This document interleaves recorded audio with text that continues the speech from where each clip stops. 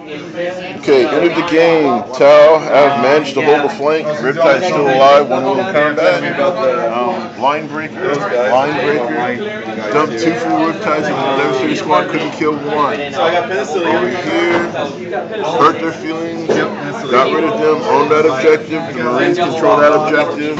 I own this objective.